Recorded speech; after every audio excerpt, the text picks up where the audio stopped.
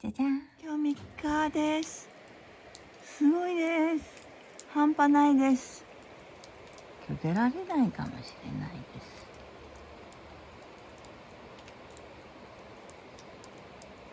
です。静かに。降ってます。これ積もりそうな雪です。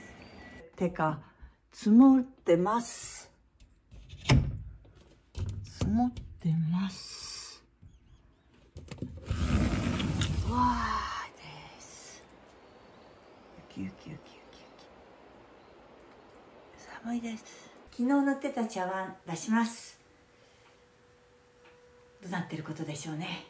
でも3つも昨日の夜からチョンボしてしまいました。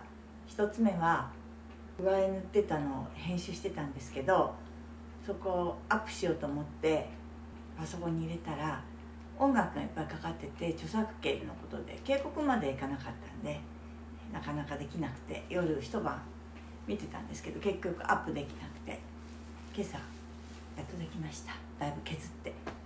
でそれに夢中になってたら釜が1000ちょっとで止めなきゃいけないのを結構1100とか上なのに上がってしまいました。それが2つ目で朝急いできたら今度セコムから電話がかかってきて警報が鳴ってるっつって。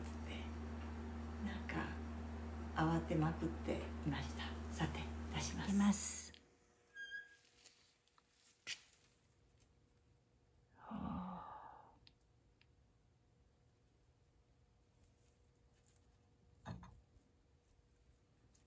よかったです。だーって流れてなくて。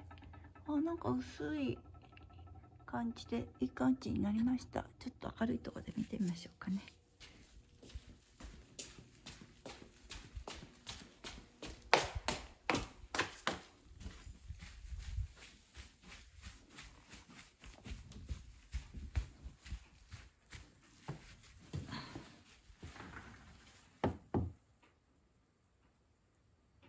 よかったです。ダーッと流れなくて止まってなんかちょびっと新境地です。お正月ですねやっぱり。釜の神様ありがとう。釜の神様。